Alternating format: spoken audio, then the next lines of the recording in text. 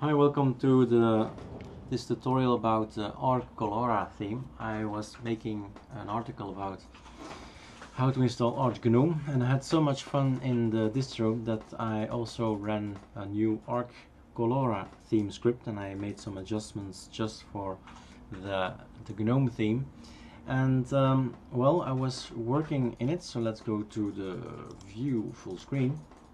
So this is the results of my my actions here you see here this little icon that is new wasn't there before. Uh, what do we have? We have uh, the arc theme which is coming from horst 3180 but with the arc colora scripts from github from Erik Dubois you can make your own color. So arc dark orange red. And had this nice uh, picture wallpaper that came in and I thought well why not make something similar so that everything is one big hole that everything fits together. And then okay I was working in uh, the Arcolora I fixed some issues there just for GNOME. And then I found out that you can also uh, have a uh, shell theme. And these letters these fonts were too small. So I'll just go and show you where and how and what I did. So the themes are here because of the github the scripts these were all made with colora uh, script and we just made the arc dark orange red is the one. And if you want to change this here up here you should go to the gnome shell.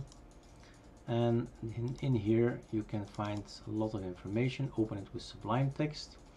There is uh, I installed a specific thing here so preferences packaging control install it then install the package color highlighter highlight all style color text so you see the colors.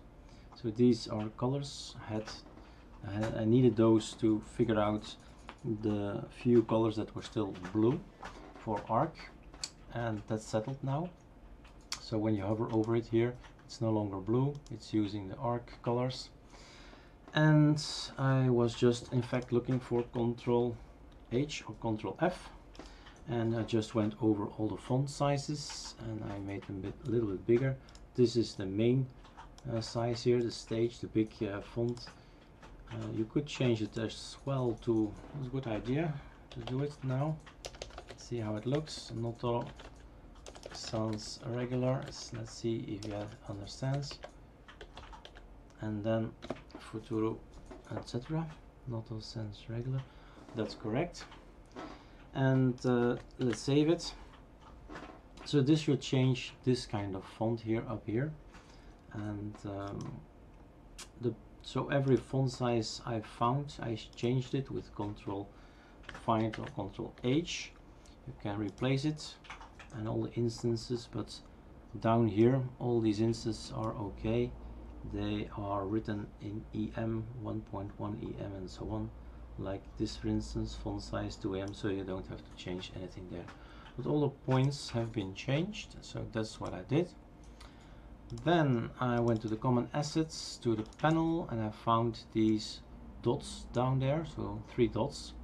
One uh, activities is white and the other one is red. I changed them with an arch uh, logo coming from the Sardi icons and there you go. So now we have this icon here and when it's active it's red and um, that's a small uh, exercise uh, but okay we have to look where is this little logo where should I find it and what should I do so that's all I did and I hope uh, well you get a little bit insight in how these things work.